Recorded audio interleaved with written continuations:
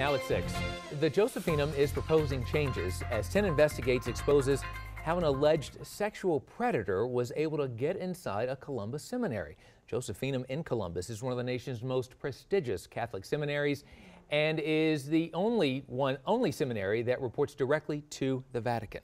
10 Investigates Nathan Baca is back in the studio now to show how our questions are bringing change and transparency to the school's policies. Nathan. Now, when police arrested former seminarian Joel Wright and accused him of trying to buy toddlers for sex, we went beyond just asking what happened. 10 Investigates uncovered how an accused sexual predator gets inside a seminary and what's being done to stop that in the future. We asked those questions and got answers. And just today, church leaders announced sweeping changes at the Josephinum. Pontifical College Josephinum even its name separates it from the busy outside world. Surrounded by nearly 100 acres, the Josephinum allows its seminarians to study Catholicism in silence and isolation. Within this serene beauty, a man federal investigators say is a sexual predator plotted his crimes. How did Joel Wright, a man who reportedly advertised for children, make it through the selection process for the Vatican controlled seminary, and could it happen again? Our story starts with Joel Wright beginning his religious training. Wright went to Thomas More College south of Cincinnati. Multiple people on campus tell 10 Investigates Wright often wore a priest's collar and served as a student chaplain. Federal documents reveal Wright was about to start a second Christian college in the summer of 2014 when he went to Tijuana to have sex with children. The documents also reveal how an informant who initially said he would help Wright later refused. Wright left Mexico unsuccessful in his efforts. The informant is now cooperating with Homeland Security investigators, and he spoke to 10 TV. He told me straight out he wanted to to have sex with a baby, you know, not even older than two years. He says, I said, what? Wright then went to Franciscan University for two semesters in Steubenville before formally applying to that diocese in the summer of 2015. By that time, his mother said Wright had been rejected by about 45 seminaries. A spokeswoman for the Steubenville Diocese said the application asked if applicants have been involved with other dioceses. But the spokeswoman added Wright's application made no mention of his other seminary rejections, let alone 45. On May 5th, a woman contacted Steubenville police to report a questionable Craigslist post by Joel Wright. It allegedly offered parents $150 to watch their children. The report was filed, but the diocese said they never knew. Those reports are not included on a criminal background check because there was no arrest nor conviction. The diocese doesn't look into students' background any further than that basic records check. Church officials say they take candidates at their word. Back to that Craigslist ad. Shockingly, it was out around the same time the diocese had Wright take a psychological exam. The exam did not set off any red flags. Steubenville Bishop Jeffrey Monforton signed off on Joel Wright's admission to the Josephinum. At first, his spokeswoman declined an on camera interview, so we found the bishop and asked him to explain Joel Wright's admission. Probably not a good idea. My attorney said it's probably best we don't say anything right now. But, but then uh, Steubenville's bishop began talking. Did you get a chance to meet Joel Wright? Oh, yes. And what were your impressions or thoughts about him? There's potential, but first impressions, as we know, can be wrong. And it's very disappointing. It really broke my heart. And I appreciate you also taking a look into it and reviewing it. Um, we have to be transparent.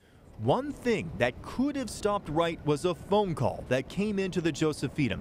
Remember that informant who was working with Homeland Security? He says he contacted the Josephinum in the fall of 2015 and wanted to warn them about Wright.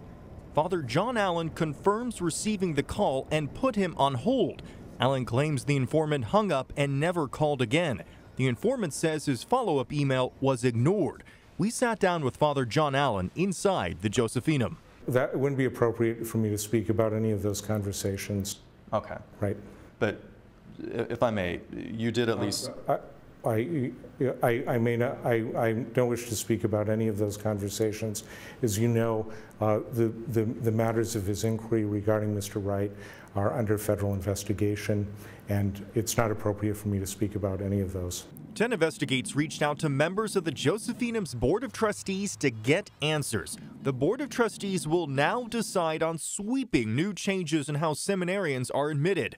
The proposals came from the Josephinum's leading priests, including Allen and Monsignor Christopher Schreck. In light of what has happened, what is changing at the Josephinum? In the world in which we live, it's vital for us to have uh, every possible uh, means at our disposal uh, in, when it comes to the acceptance and formation of seminarians. Therefore, uh, we're taking leadership in uh, a national initiative to establish a database. A national database would list seminary rejections, which, had it existed, means Joel Wright would have never been of the Josephinum. Never, never. The National Registry of Seminary Applications is not the only proposed change to prevent another Joel Wright of the Josephinum. Former FBI investigators will now do a more thorough background check, uncovering criminal complaints and a student's online history, not just convictions. And all incoming students will now have to meet with a school psychologist in person before acceptance.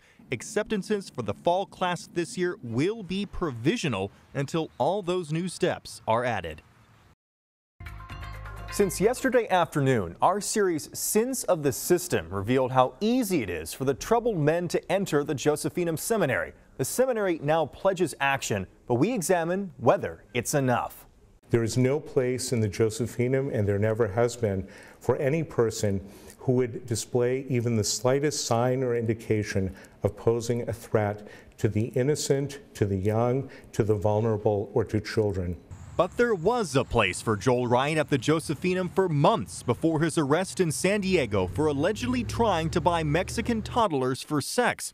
The Josephinum now pledges sweeping changes in how they verify the background of their incoming students. But one thing missing from the Josephinum's changes anybody outside the Catholic Church reviewing how the seminary does its screenings. This is what Father Allen considers independent review. The Bishops' uh, Committee of the United States maintains its own legal department who further advises the conference and at times individual bishops on uh, their, their, their compliance. Former Benedictine monk and sexual abuse researcher Richard Sipe says Josephinum's leading priests must lead the way to protect against sexual predators. But as they get into the system, then how does a, a teacher, how does a, a, a spiritual advisor, uh, when a student comes to him and says, Look, I'm having this struggle, I'm having this struggle with sexuality, with these thoughts, with these desires, or with these actions, uh, how does he then handle that?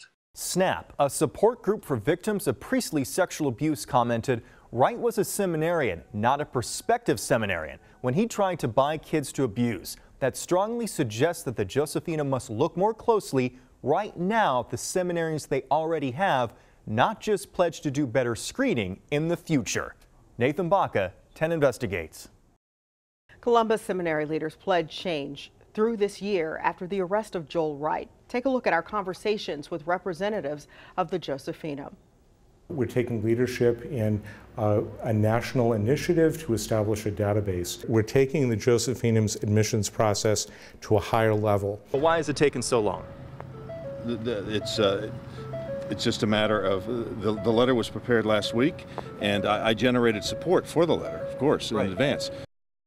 But even after their Wright was convict, Joel Wright was convicted of attempted child sex crimes, we've uncovered broken promises and a lack of action from seminary leaders. 10 Investigates Nathan Baca is holding those Catholic leaders accountable. Families trust Pontifical College Josephinum to train the next generation of Catholic priests. But after we revealed just how they allowed a sexual predator inside these halls, the seminary refuses to reveal what they're doing to prevent this from happening again. Joel Wright. Dozens of seminary applications and rejections around the country. Did the Pontifical College even look? A simple background check 10 Investigates did spotted a past Steubenville police investigation. And if the Josephinum simply secured their internet, they may have prevented Wright from going online trying to buy children in Mexico to rape. But as we showed this March, the oh, Josephinum did none of that. They don't care. They they just don't care. Judy Jones is a leader of the Survivors Network of those abused by priests. They could do something about it, they just won't. They, the, the Catholic bishops tend to do as little as possible. The Josephinum says they pushed for a national database that would track seminary rejections. But 10 Investigates received this statement from the U.S. Conference of Catholic Bishops. Due to the limitations upon which Episcopal conferences are founded, it is not possible for the USCCB to assume the responsibility for establishing and administering a comprehensive national database of applicants to priestly formation. In short, any national database tracking seminary applicants is not happening. So we tried to get answers from the Josephinum. We emailed their employees and board members eight times this past month and did not hear anything back. And Josephinum employees called police on us twice when we tried to get answers from seminary leaders outside their campus. In the past, the Josephinum said they would take action on their own to run background checks on applicants and secure their internet. 10 Investigates cannot verify if they do or don't. But the bishops are essentially turning their backs. Former Benedictine monk Richard Sipe was an informant in the Boston Globe's Spotlight investigation. Any real movement on their part would leave them vulnerable to their own exposure. 10 Investigates will continue to press for answers from seminary leaders. Reporting from Pontifical College Josephinum, Nathan Baca, 10 Investigates.